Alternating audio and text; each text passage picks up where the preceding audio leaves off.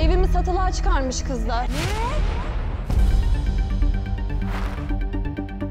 Tırnaklarımla 18 yıldır yemeden içmeden aldığım evi satacakmışım.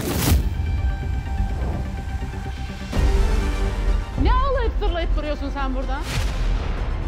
Ben zaten oğluma sordum, onay aldım Merve. Sana laf düşmez.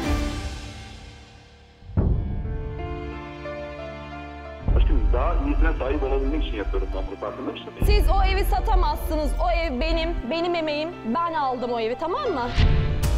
Gelinim Mutfak'ta yeni bölümüyle Perşembe günü Kanal D'de.